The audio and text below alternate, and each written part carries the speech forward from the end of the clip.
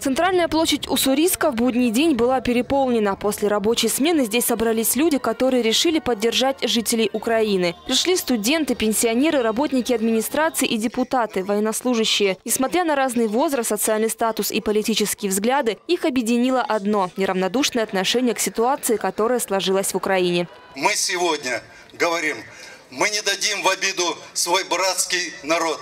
Тот народ, который хлебнул лихо. Лозунги «фашизм не пройдет», «Украина и Россия – братья навеки», «Мы за мир» стали уже традиционными и скандируют сотни тысяч жителей всей России. Для уссурийцев это не пустые слова. Достаточно вспомнить историю заселения сел округа, когда в Приморье из Украины переехали жить семьи переселенцев. На площадь пришли и те, кто в годы Советского Союза обосновался в Уссурийске. Мы с женой э, из Крыма. Наша молодость прошла в Симферополе. Ровно 30 лет назад я закончил Симферопольское высшее военно-политическое училище.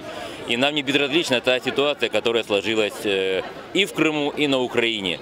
Просто с глубоким таким чувством горечи, горечи смотрим на то, как по Украине ползет национализм и фашизм. Когда мы вместе, мы едины, мы непобедимы. Поэтому я считаю, что вот эта акция, которая проводится на всей территории России, говорит о том, что все-таки мы славяне, и мы за тех, кто в беде.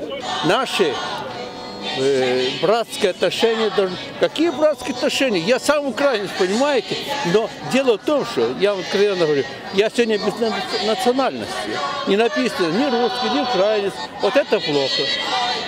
Дай Бог, чтобы у них там все было хорошо. Василий Масюк родился в Украине. У него там живут родственники. Недавно он навестил их и смог лично оценить обстановку и сложить личное мнение о происходящем. Я видел то горе, тот страх, и тот ужас родных, близких, соратников, своих боевых друзей по Афганистану, по горячим точкам. И что они говорят? Вот там далеко не полная хроника всего-то страшного лихолетия, которое коричневым одеялом накрыло Украину. Итогом митинга стала резолюция, принятая собравшимися единогласно. В ней говорится о том, что жители Уссурийска поддерживают население Крыма в стремлении войти вновь в состав России, поддерживают политику президента в отношении событий на Майдане. Анна Маринец, Анна Клыга, Николай Фарафонов, Сергей Удовиченко, Александр Синельников, Телемикс.